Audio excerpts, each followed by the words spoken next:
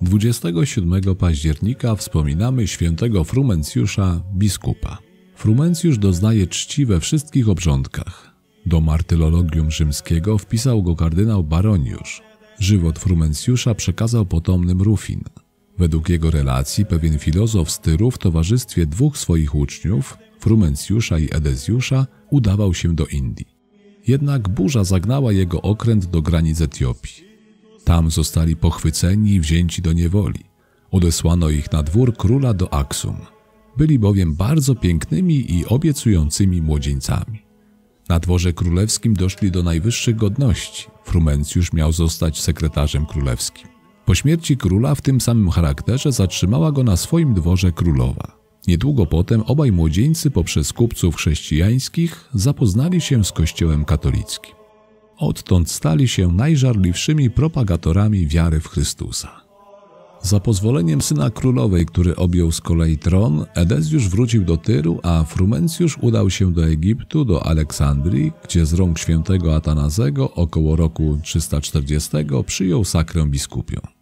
W taki to sposób został nie tylko ojcem chrześcijaństwa w Etiopii, ale także hierarchii kościelnej, którą tam założył. Było to za czasów cesarza Konstantyna I Wielkiego i jego syna Konstancjusza. Król Ezan nie tylko dał Frumencjuszowi pełną swobodę w tej pięknej akcji, ale nawet sam z jego rąk wraz z bratem przyjął chrzest.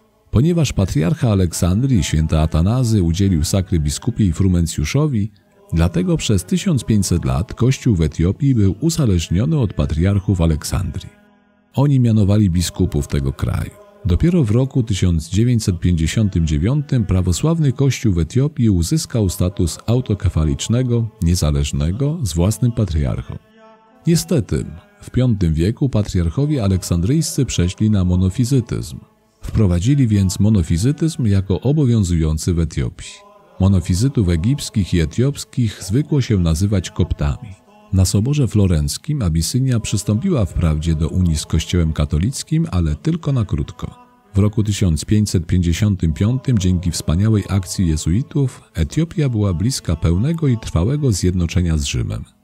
Ojciec Perez pozyskał dla wiary króla Zara Dagaba, a potem również jego syna i następcę na tronie Seltana Sagada. W roku 1626 król ogłosił nawet katolicyzm jako religię państwową. Wywołało to jednak tak gwałtowną reakcję ze strony prawosławnych, monofizyckich koptów, że cesarz cofnął dekret.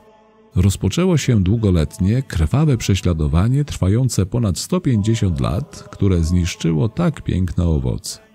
Od roku 1839 misjonarze katoliccy mogli powrócić na te tereny. W roku 1847 stolica apostolska erygowała w Etiopii dwa wikariaty apostolskie w obrządku etiopskim, jeden zarządzany przez lazarystów, drugi przez kapucynów. Módlmy się. Boże, Ty w świętym Frumencjuszu dałeś swojemu Kościołowi wzór dobrego pasterza, spraw za jego wstawiennictwem, abyśmy na wieki mogli zamieszkać w niebie. Przez naszego Pana Jezusa Chrystusa, Twojego Syna, który z Tobą żyje i króluje w jedności Ducha Świętego, Bóg przez wszystkie wieki wieków. Amen. Exaltimus,